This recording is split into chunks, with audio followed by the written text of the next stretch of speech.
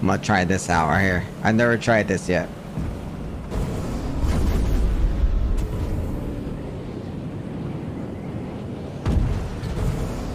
Dang. Didn't fully go all the way away.